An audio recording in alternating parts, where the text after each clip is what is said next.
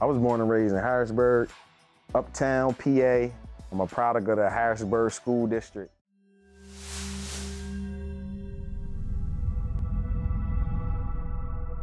We, as the community, we hear a lot of bad things about Harrisburg School District kids. In middle school, I moved to Susquehanna. I think that followed me, so that was kind of a burning fire in me to prove that, you know, city kids are smart. City kids know how to do work. City kids can get honors.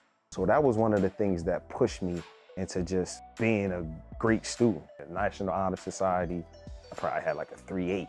When I graduated, I played an instrument, played the trumpet, I was in the concert band, trying to be well-rounded. My mom allowed positive men to be a part of my life. So I got to shout out my, you know, one of my best mentors, rest in peace, Mr. Reginald God, man. He was one of the best things that happened to me. I almost felt like I moved out to Susquehanna to meet him and my high school coach, uh, Coach Emery Cook. So those two guys made a big difference. They were like my BMDs when I moved out of the city and, and I kind of had no one, no males to turn to. And, and, and just seeing those strong black men and how they kept the Susquehanna community together, uh, they made a big difference in my life. And I always say, you know, I owed them everything. So Susquehanna uh, graduated, played ball, won a state title in 97. I played ball, ended up going to Dickinson College where I graduated, the bachelor's degree in international business and management.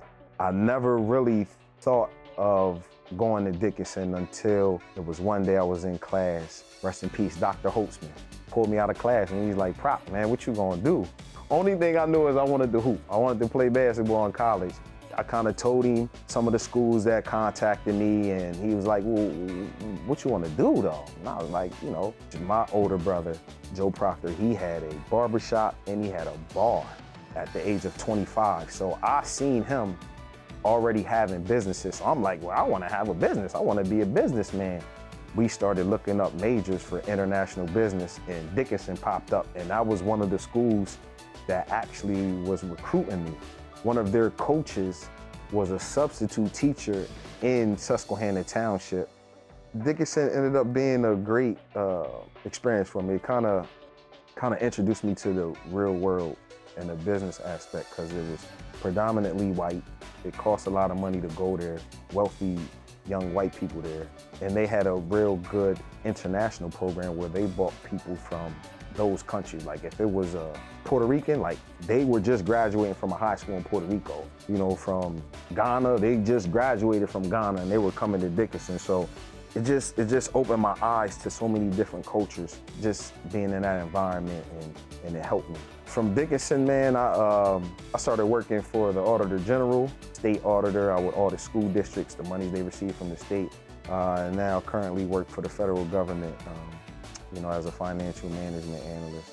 I'm just trying to find my way using the resources that I have, using a lot of the lessons that I learned, just understanding your greatness and being great and knowing that, you know, we were all made on this earth to be our greatest self and fulfill our purpose and do it fearlessly. And that's what we want to teach kids like, don't be afraid. Don't be afraid to fail. Don't be afraid to be great. Because sometimes, like, we're scared of even our own greatness.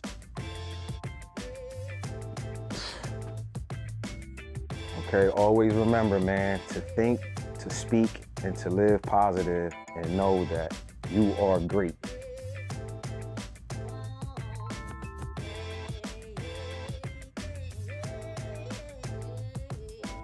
Hey guys, my name is Blake Hamilton.